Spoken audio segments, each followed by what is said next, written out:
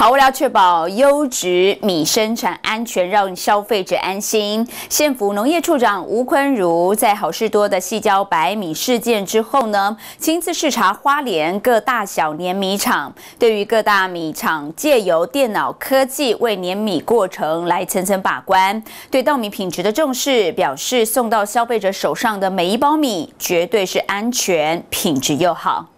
跟着富里乡农会总干事张素华以及碾米厂长引导说明，县政府农业处长吴坤如仔细巡查整个碾米过程，确保花莲优质米的品质与安全，消费者都可以安心使用。做好的，做好的。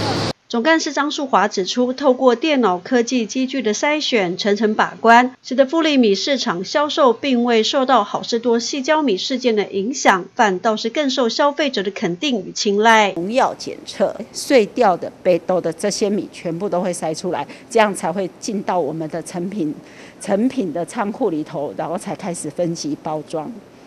所以我们有五道工序。县政府农业处长吴坤如在好事多细胶米事件后，为了确保花莲优质米的产质安全，亲自视察县内各大小碾米厂，从富里转视察玉溪地区农会大禹碾米厂，和总干事蔡宗汉就稻米碾制过程的品质安全把关进行交流。这个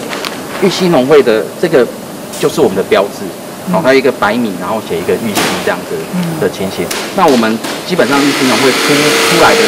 品种，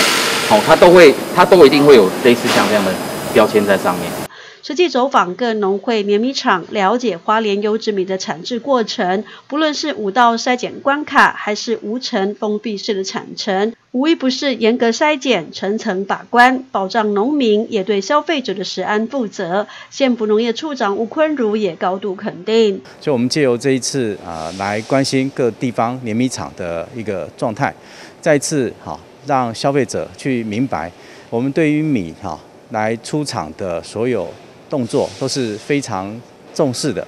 那送到消费者手上的东西一定是确保安全、品质又好，好，这是我们现在呃一定要去确保的一件事情。打出自有品牌及商标，消费者认清农会出产的花莲优质好米，就拥有最佳的保证。而县政府农业处长吴坤如也走访各农会碾米厂，也将积极辅导及协助农会将设备太旧换新，提供全国消费者最安全优质的好米。记者石玉兰在玉里富里的采访报道。